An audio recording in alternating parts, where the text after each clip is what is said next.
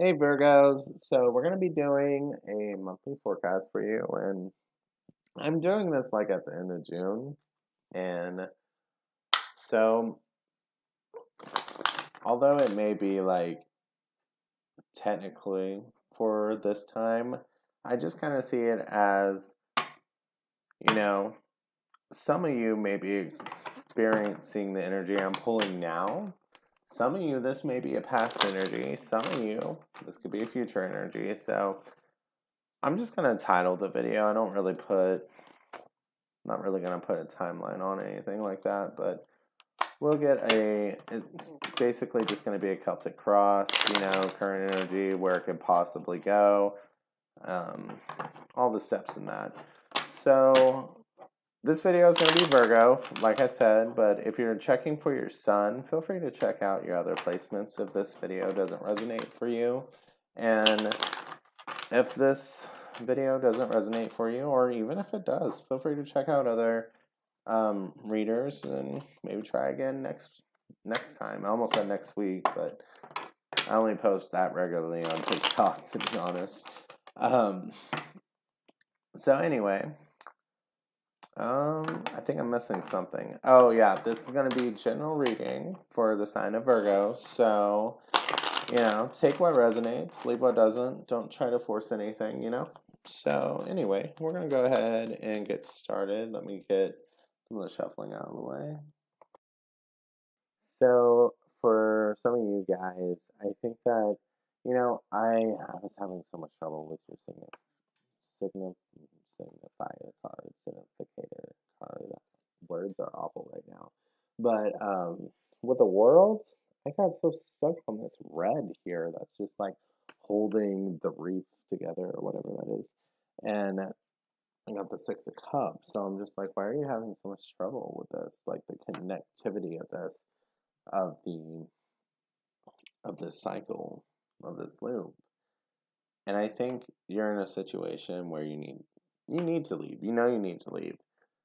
It's just the memories of the past, like the friendships, the the um, friendships you built, the relationships you built, whatever it is. Um, they've you know they meant a lot to you. Like at one time you were really happy in this position. I do kind of think it's work related with all the pentacle energy here, but it doesn't necessarily have to be. But it, it does just kind of feel like something that was once really good was just it's just kind of turned into sour basically.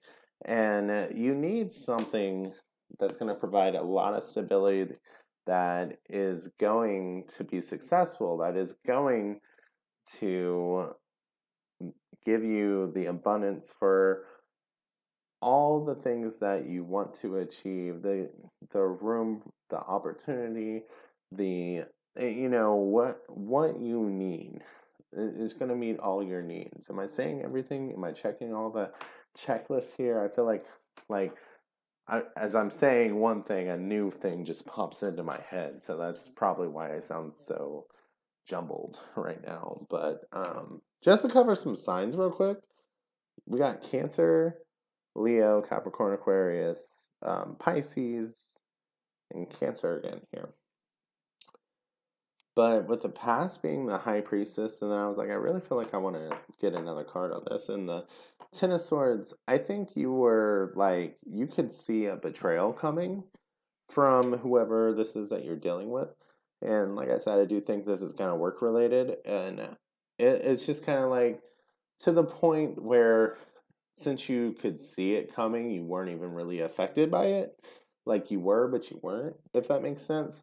So, since you could see it coming, once it came, you're just like, okay, I think I'm ready to leave now. Like, I'm leaving.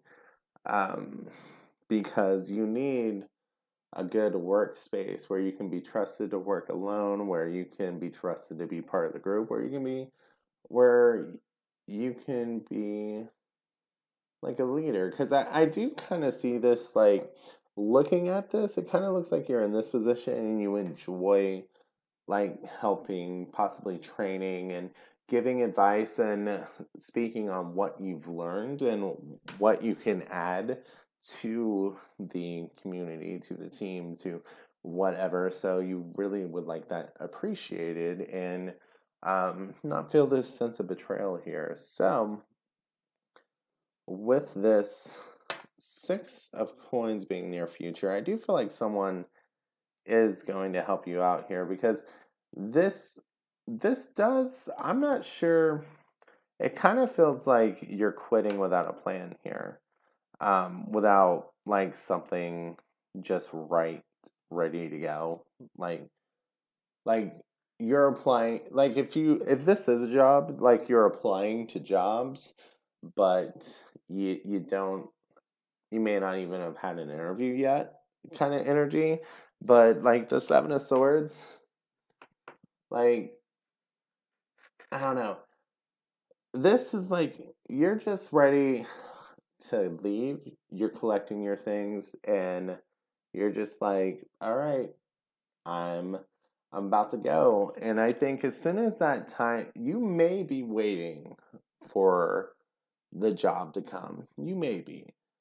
Um but it's just like once it goes, this kind of feels like uh, you're gone with the night type of thing. Like I, I don't even know that you're going to give the notice really is kind of how this plan is going to be. And you may give the notice, but it doesn't feel like it'll be a two week notice.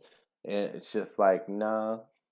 And either that or there's some kind of sneakiness here with like maybe you're going to interviews on your lunch break uh, or something and you're just really being good about like keeping it under wraps that you're looking elsewhere basically. And i think the influences in your community are just kind of like well hold on wait wait it could get better. Like hold on hold on. They're trying to keep you there but like i think it's funny that the six of cups is from this deck and the uh, hopes and fears. I think you do hope that especially with this being part of why like that ribbon was on the world like you may give your two weeks because i think part of you does want to be able to keep the good connection, but I think you're also like, if they show that it's just going to deteriorate, then you're to burn the bridge because like they burnt the bridge. You know what I mean? Like that's,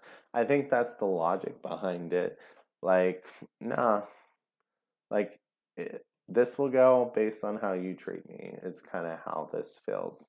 So and I think that's because of the outcome. The outcome feels like you're just, you're doing you.